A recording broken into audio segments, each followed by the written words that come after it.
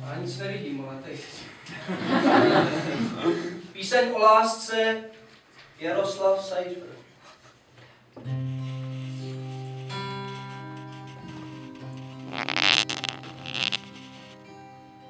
Slyším to, co jiní neslyší, bosé nohy chodit po pliši. Vzdechy pod pečetí v dopise, chvění strun, když struny chvějí se.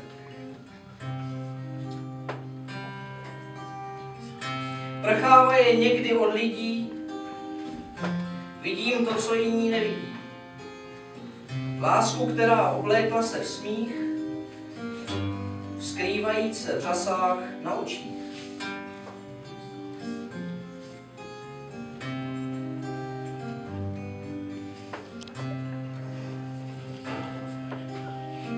Když má ještě vločky v kadeři, vidím kvésti růži na keři.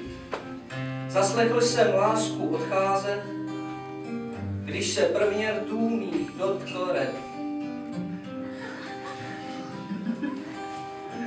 Kdo mé naději však zabrání, ani strach, že přijde zklamání, abych nekles pod tvá kolena, nejkrásnější bývá šílená.